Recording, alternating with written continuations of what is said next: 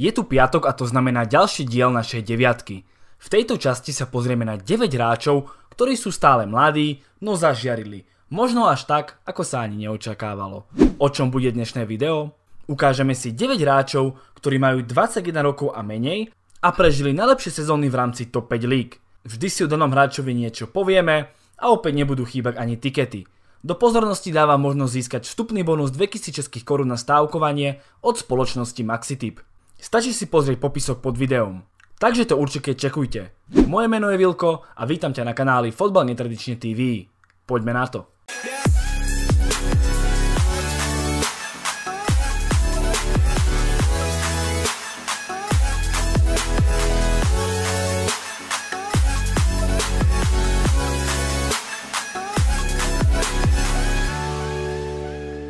Do tejto deviatky som vyberal iba hráčov, ktorí majú k dnešnému dňu, video nahrávam 3.5., 21 rokov a menej. Nikto starší tu nebude, hoci aj keby oslavoval 22. narodeniny iba v apríli. Nejaké okrajové podmienky sem proste musím dať. Čiže by sme tento rebríček mohli kľudne pomenovať najlepší hráči sezóny 2018-19 do 21 rokov.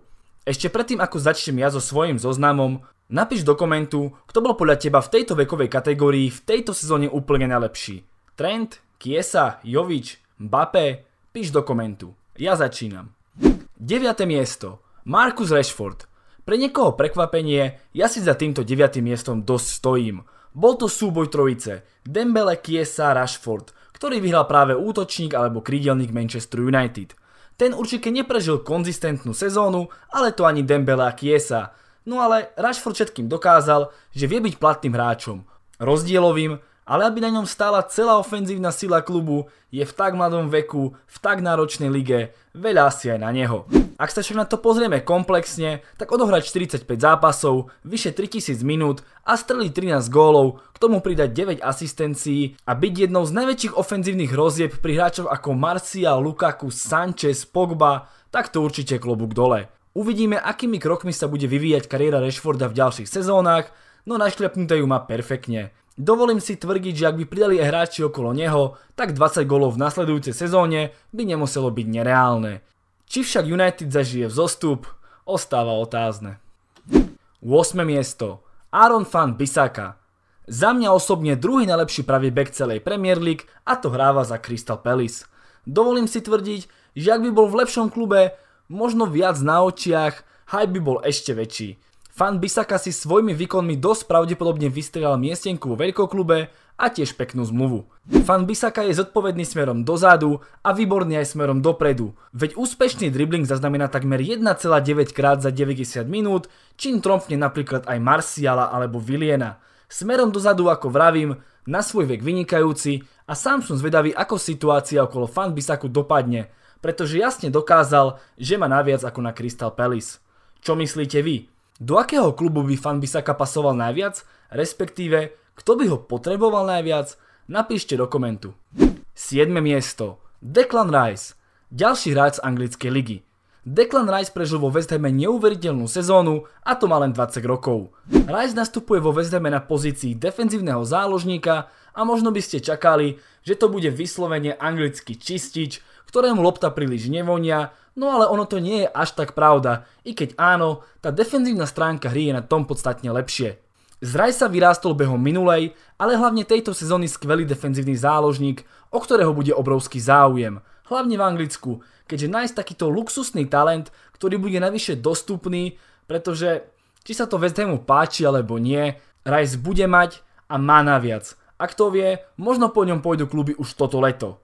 Perfektné výkony tohto kladivára si samozrejme všimol aj Gareth Southgate, ktorý ho ustihol povolať do anglickej reprezentácie a zamedil tak možnosť, aby tento hráč reprezentoval Írsko, ktoré si na mladíko taktiež brúsilo zuby. Z pohľadu Albionu skvelý ťah. Ak to tak bude pokračovať, Anglicku pribudne do týmu ďalší obrovský talent s potenciálom byť jedným z najlepších hráčov na svojom poste. 6. miesto. Usem Awar. Máme tu aj zastupiteľa francúzskej ligy, ktorá možno nie je pre širšiu futbalovú verejnosť až tak zaujímavou, no meno Usem Aouar pozná asi väčšina z vás a ak nie, tak si toto meno zapamätajte. Aouar je jedným z ďalších skvelých mladíkov Lyonu a možno aj najlepším. A to má v tomto smere v týme konkurenciu, napríklad v podobe ďalšieho skvelého stredného záložníka Endombeleho alebo útočníka Dembeleho. Aouar zaznamenal v tejto sezóne League One v 34 zápasoch 7 gólov, ku ktorým pridal aj 6 asistencií. Bavíme sa tu však o hráčovi nastupujúcom na pozícii čísla 8, osobne ho vidím ako ideálneho hráča do trojčlennej zálohy v spoločnosti ďalších dvoch hráčov, jednej šesky a ďalšej osmičky. Aouar môže byť kľudne tým najofenzívnejším z tejto trojice. Obrovský talent francúzského futbalu. 5. miesto. Trent Alexander Arnold. V tejto sezóne anglické Premier League bez nejakých pochybností najlepší pravý back. A keď si uvedomíme, že tromfol aj takého Kyla Walkera, takto si zaslúži obrovskú pochvalu. Šikovný pravý back neprestáva vo svojich 20 rokoch udivovať futbalový svet a so svojím parťákom z ľavej strany Andym Robertsonom tvoria no minimálne najlepšie duo backov v Anglicku, možno aj na svete. Skvelá podpora útoku, brutálna kopacia technika. Veď Trento môže zo štandardky aj centrovať, aj kopať na bránu, vždy to bude smrkieť gólom. Zri sa samozrejme dostane častejšie k tým centrom, ktoré ale majú oči. Veď v tejto sezóne Premier League asistoval už na 11 gólov, v rámci všetkých súťaží ide dokonca až o 15 asistencií. Neskutočné. Nedivu, že bol trend vyhlásený najlepším pravým bekom v tejto sezóne Premier League. Ďalší angličan s obrovským potenciálom a v tak mladom veku už aj obrovskou kvalitou. Štvrté miesto. Kai Havertz. Po sérii anglických hráčov, ktorú prerušil len Usem Awar, tu máme aj prvého zástupcu z nemeckej Bundesligy. Kaja Haversa už môžeme označiť za borca, ktorý má čosi v mužskom futbale odkopané, veď táto sezóna bola pre neho už treťou medzi seniormi. Rozhodne však ide o najlepší ročník tohto ofenzívneho záložníka, schopného zahrať desiatku alebo krídlo. S 15 gólmi je najlepším strelcom Bayeru, tomu aj 3 asistencie. Jednoznačne hovoríme o hlavnej hviezde klubu a to má stále ešte len 19 rokov. Opäť sa dokazuje to, že nemecká liga je v tomto smere pre mladých, talentovaných futbalistov asi najlepšou voľbou na rozvíjanie potenciálu. Nie divu, že sa meno Havertz spája s Bayernom a ak sa tento prestup neuskutoční už toto leto, popravde budem trošku v šoku. Ofenzívna hviezda Nemecka je zrejme pripravená urobiť ďalší veľký krok vo svojej kariére. Tretie miesto. Luka Jovič. Druhý reprezentantom nemeckej Bundesligy v rade bude srbský snajper Luka Jovič.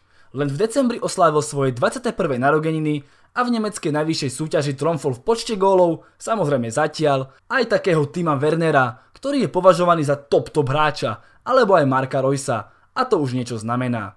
Luka Jovič sa spolu so svojou ofenzívnou dvojičkou Sebastianom Hallerom stali kľúčovými mužmi parádnej sezóny Frankfurtu. Pre mňa ostáva najväčšou záhadou, že ako je možné, že klub akým je Benfica si nechala takého hráča ujsť za 5 miliónov eur, pretože Frankfurt ho teraz môže streliť za 60 mega a nikto nepovie ani slovo. Áno, viem, Jovič je vo Frankfurte už druhý rok na hostovaní a zrejme ešte pred prestupom mal v zmluve nejakú klauzulu na výkupku, ale aj tak, 5 mega, totálny úlet. Streliť dohromady v 45 zápasoch 26 gólov je tiež riadny úlet. Jovičovho agenta čaká dosť rušné leto. Druhé miesto. Jadon Sancho. To, že to je obrovský talent sa vedelo. To, že to vypáli tak, ako vypálil, nečakal asi nikto. Jadon Sancho zmenil pravidla hry pre všetkých anglických mladých futbalistov a ukázal im cestu. Nebal sa opustiť City, ísť do pre angličanov netradičnej ligy a pozrite sa na výsledok. Žiari. Aktuálne má na svojom konte až 14 golových asistencií a v tomto smere mu konkuruje iba Eden Hazard. Takže my reálne porovnáme tohto 19-ročného krídelníka s jedným z najlepších hráčov Premier League posledných rokov. A za to fakt klobúk dole. Sancho je veľmi šikovný typ hráča, je produktívny, dáva góly, dokáže skvele driblovať, vyvinúť dostatočnú rýchlosť a zahraj prakticky na všetkých ofenzívnych postoch. Ak to tak pôjde ďalej, Anglicku vyrastie hrať svetovej extratriedy. Ako dlho ostane v Dortmunde je otázne, podľa mňa určite ešte jednu sezónu, zdokonali sa ešte viac a ak Dortmund nebude splňať jeho ambície, čo asi nebude, tak odíde. Kluby si bude môcť vyberať. Anglicku rastie neskutočná generácia futbalistov a Jadon Sancho môže byť tou úplne najväčšou hviezdou. Prvé miesto. Kylian Mbappé. Prekvapuje niekoho vôbec toto meno? Ja som v tom mal jasno, ešte som ani nezačal písať a na prvom mieste už bol tento borec. Mbappé zažil sezónu snov. Minimálne čo sa individuálnych štatistik týka, veď som už o tom kecal, výkony PSG hlavne v Lige majstrov, ale aj to spackané finále francúzského pohára, no žiadna sláva. Výkony PSG sú pre mňa sklamaním, no Mbappého sezóna neskutočná. Veď sa pozrime na tie čísla. 41 zápasov, 36 gólov a 17 asistencií. To je neuveriteľné, obdivuhodné, samozrejme, že to ale niekto zhodí, pretože ve to len francúzska liga. No nezabudnite, že Borec mal v decembri len 20 rokov. Totálny blázon. Dať gól každých 92 minút je totálny úlet. Za mňa je Mbappé absolútny top-top hráč, ktorého čaká obrovitánska budúcnosť. A ak som ja vyrastal na Ronaldovi s Messim, verím, že mladšie ročníky budú vyrastať práve na Mbappém. Ak toto dokázal v 20 neskutočne sa teším na to, čo nám predvedie v ďalšej sezóne. Poďme ešte na tikety. Ja som sa tentokrát rozdol ísť do anglickej prvej ligy, konkrétne do play-off o postup do Premier League. V zápase Derby Leeds mám remízu pri kurze 3.20. Ak si môj tiket vsadíte v Maxitype za 500, dostanete výhru 1600 českých korún. Svojim tiketom prispel aj Práža, ktorý v poslednom zápase sezóny verí, že Tottenham dokáže poraziť Everton a vybojovať si tak miestenku v Lige majstrov. Ak si Lukášov tiket sadíte v Maxitype, dostanete kurz 2,25 a pri vklade za 500 možnú výhru vo výške 1100 českých korun. Svojím názorom a tiketom prispel aj Lukas. Čau čau, máme tady jedny z posledních tiketů, tak si to pojďme naplno užít. Vilko na svůj tiket umístil zápas Derby versus Leeds, eh, Playoff Championship, druhý anglick, druhá anglická liga, šestý Derby versus třetí Leeds, tudíž Leeds jde do zápasu jako favorit. Ovšem poslední forma hovoří určitě líp pro domácí dárby, takže ta remíza se mi tady eh, v celku zamlouvá. Pro Leeds to bude určitě eh, dobrý, dobrý výsledek do odvety domácí a Darby v roli outsidera pro ně remíza taky určitě není špatný výsledek, tudíž si umím úplně jednoduše představit, že tady tou plichtou opravdu skončí. A Praža, ten zvolil na svůj tiket Tottenham versus Everton. Tohle to už se mi líbí o něco míň, protože Tottenham od té doby, co postoupil v Champions League přes Manchester City, tak v Lize uh, to hodil úplně na druhou kolej. Jsou tam naprosto otřesní výsledky plus pár zranění a Tottenham má samý porážky od té doby v Lize. Teďka navíc postoupil v 96. minutě proti Ajaxu, uh, takže přidáme cestování, velký oslavy a tohle vždycky znám už za ty léta v sázení, že potom v Lize ty týmy nehrajou vůbec dobře, navíc Tottenham nemá ani v podstatě moc o co hrát, už je téměř asi jasný, jak to v lize dopadne. Když to Everton hraje v podstatě o nic, ale má od té doby super famózní formu, jsou uvolněný, daří se jim, takže já tady určitě na Tottenham nevsadím ani korunu, protože to je prostě nevyspytatelný, ale naprosto chápu hráče Tottenhamu, kteří prostě mají na první kolej teďka ligu mistrů a já jim to přeju. Tak a na závěr klasický typ ode mě. Já tady pálím 30 tisíc na boj o titul Slávě versus Plzeň, kdy když se řekne boj o titul, tak většinou jsou to dva velmi vyrovnaný týmy, každý má nějaký svý pozitiva, ale já tady, když si ty týmy rozeberu, tak u Plzně jediný pozitivum, co bych mohl asi najít, tak jsou maximálně zkušenosti, ale co se týče hry, tak absolutně nic. Plzeň je naprosto líná, uh, jde Slávě naprosto fyzicky předčí, eh, to samý kombinačně a, a vlastně ve všech aspektech, to bychom tady byli dlouho. Plzeň eh, je v každém zápase horší tým v poslední době, no možná vlastně celou sezónu je prostě taková nemastná, neslaná, ale přesto ty zápasy dokáže o gol vyhrávat, což je hodně zvláštní, ale toto dělá ty velký zkušený mužstva. Každopádně kdo jiný by jim tady to štěstí měl utnout než Slávě, která hraje nejlepší fotbal v naší lize a pro mě tady to jasná jednička.